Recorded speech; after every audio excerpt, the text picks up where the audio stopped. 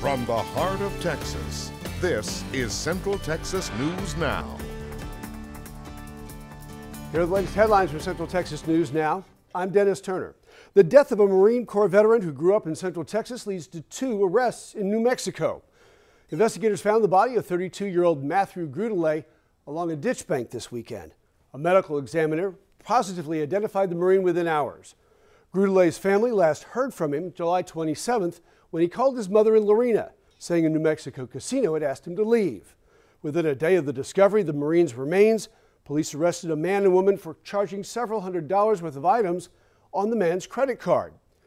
Prosecutors say the man arrested in New Mexico, 37 year old Francisco Gomez, will face a judge on murder and several other charges.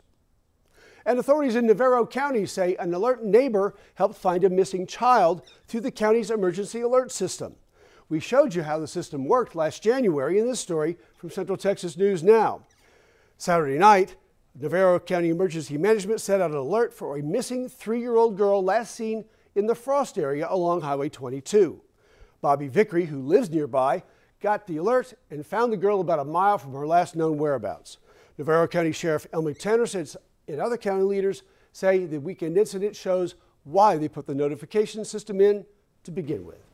Now let's go check on our Central Texas weather forecast.